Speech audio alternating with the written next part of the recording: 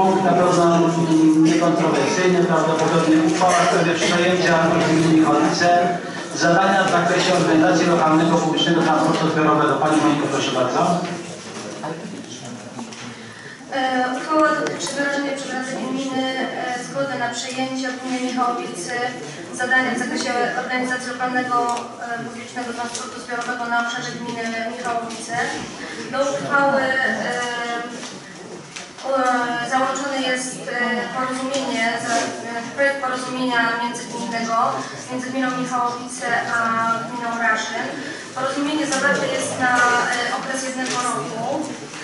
Dotyczy to autobusu L23.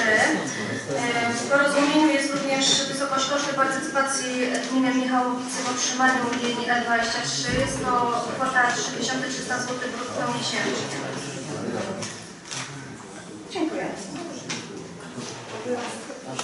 Dziękuję. Bardzo. Otwieram dyskusję. Są pytania? Proszę Pan Radny Krzyżek. Chciałem zapytać o, bo to w międzyczasie, tak, toczyła się duża dyskusja o zmianę trasy tego M23.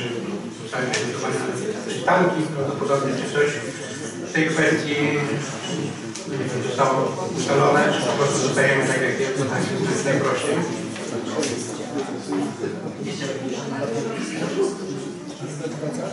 Znaczy tak, no, przy, e, ostatnie e, komisje, to była dyskusja skończyła się na tym, że Państwo mieli nam określić trasę, czyli jest 23, to ewentualnie zmienić. No do chwili obecnej żadnej propozycji nie Nie ma takiej wspólnej zgody, tak? Przykład. Zgody ogólnej Rady za przebiegu trasy. No, ale tutaj mówię, tam mieszkańcy czy przedstawiciele tak, że tam są przystanki jakieś wykonane. Jeden jest. Jest. No skoro są przystanki, to rozumiem, była zgoda na te przystanki, tak? Dlaczego nie dlaczego pamiętam? Proszę Pana Radny Górecki. Proszę mam pytanie do Pani Kierownik. Proszę powiedzieć, czy były jakieś sygnały, wiem, w postaci maili, w postaci jakichkolwiek od mieszkańców, że chcieliby tą trasę jakoś inaczej poprowadzić? Czy ewentualnie zrezygnować z jakiejś części e, trasy? Nie wiem. Tak w ostatnim okresie żadnych sygnałów do nas nie trafiało. No i jakie są położenie na tej linii w tej chwili jest? Ale to już tak pusto jeździ dalej. Ja tak się pytam, bo może jakieś tak zwane dane, dane, pewnie dane czy są jakieś tam? Świeżych danych Nie ma pani jeszcze tam. To jest fakt, że tutaj optowała na to mina 23, ale jak widzę ten widzę te puste, bieżące powietrze, tak przykro, że wydajemy pieniądze. To jest problem, to jest problem, mówię, ja sam zabiegałem o linię, żeby jak najszybciej była uruchomiona. A z przykrością się patrzy na to puste powietrze w tym autobusie, który jedzie do szkoły, a praktycznie dobiera może ludzi. Pytanie, czy tych kursów ma być 8, czy może zmniejszyć, czy może przystąpić do pracy, żeby te kursy były poranne, wieczorne i na to, no, może w ten sposób. jakiś taki, żeby... Chyba ta komunikacja bardzo jest potrzebna, bo to nie ma tak, już wszyscy mamy samochody, a mówię, ta ilość kursów wszędzie jest takie, w taki sposób modyfikowana i zmniejszona jednak. Wtedy chyba się wyświetla, ja wiem, ja wiem, ale to i tak widać, że samochód pusty tam, tak, jedzie pusty. To znaczy ja mówię, obserwuję ten autobus, bo przyjeżdża też przez Walenty. On jest bardzo różny, tak? Jest nieraz naprawdę dużo, prawie że cały, ale jest kiedyś pusty, tak? Więc to analiza, o której przewodniczący mówi, no dobrze rzeczywiście przeprowadzić. Chyba najłatwiej to by to było przeprowadzić, po prostu taką, po, pogadać porządnie z kierowcą, i tak jeździ. I, i, albo ewentualnie go dać poprosić o takie, żeby jakieś zrobił kilka takich zadań. Rzeczywiście, no, bo mówię, no ja widzę go różnie, tak? Jeździ pusty, ale jedzie naprawdę dużo. Czyli on jest potrzebny, tylko mówię takie godziny. Tak, nie, nie, nie robiłem takiego dokładnego zestawienia. Y, Pan Radny Górecki na przykład następnie będzie zarejestrował.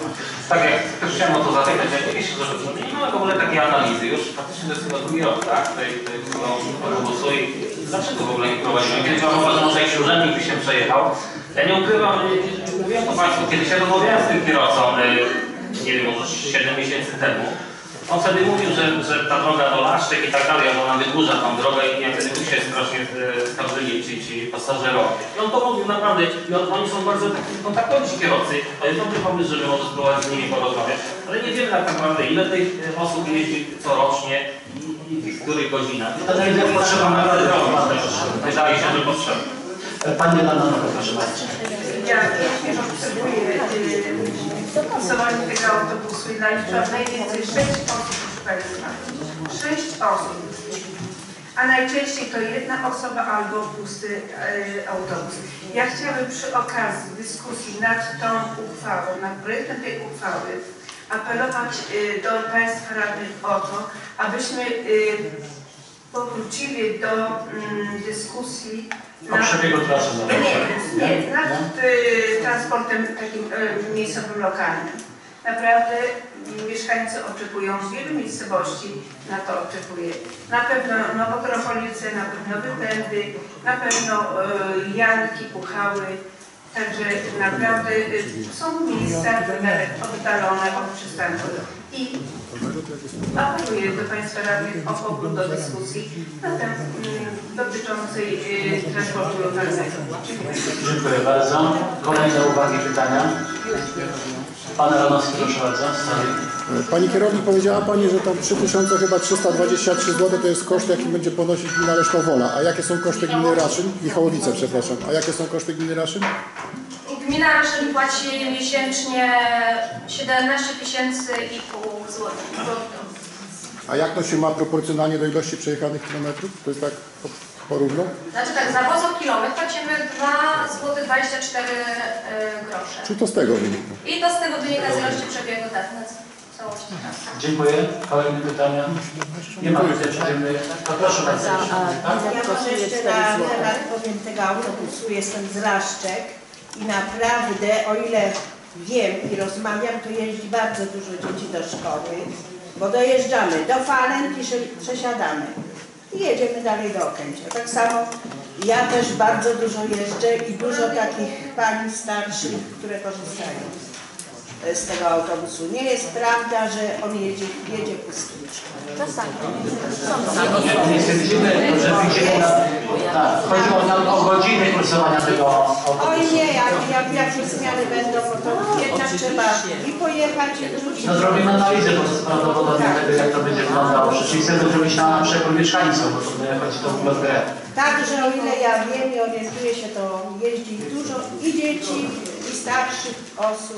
No przeważnie starszych osób. tak? Nie do Pruszkowa, tylko do Raszyna. I do Raszyna, i do Pruszkowa. Tak samo czy do sądu, czy do Urzędu Pracy jeździ- jeżdżą osoby naprawdę. Proszę, pani Radna Nowak. Nie, nie, nie rozmawiamy o tym, żeby zlikwidować te linie, tak? Tylko zastanawiamy się nad tym, Żeby ulepszyć żeby e, te te były ekonomiczne, prawda? Dla gminy Raszyn. No i chcę właśnie dlatego apeluję jest o to, żeby e, ułatwić dostęp do e, komunikacji. Było Dziękuję. Pytania poproszę Pani Naszą Poproszę do mikrofonu.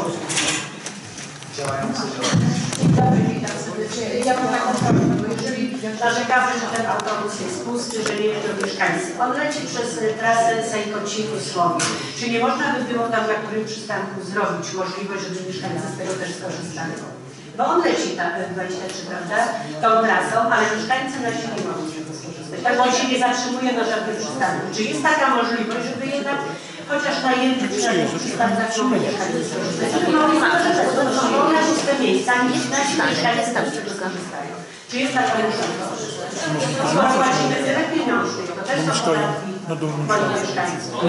Pani Monika te uwagi nie zapisuje, tak? Y,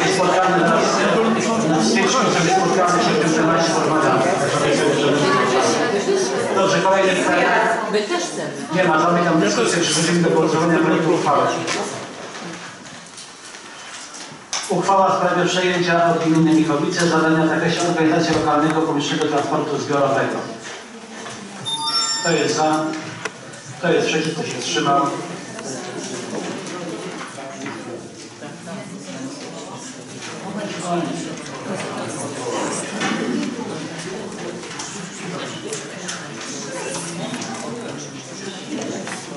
Wynik głosowania 16 za, 0 przeciw, wstrzymała się jedna osoba, jedna osoba nie brała udziału w głosowaniu.